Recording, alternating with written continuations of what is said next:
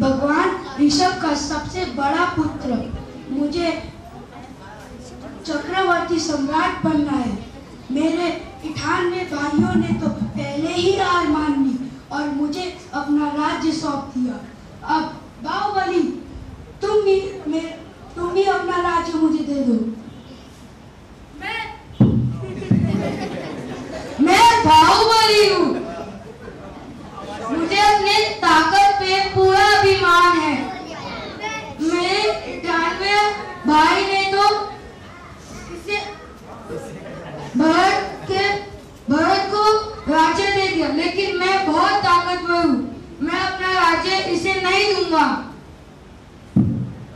बाहुबली तो तैयार हो जाओ युद्ध के लिए।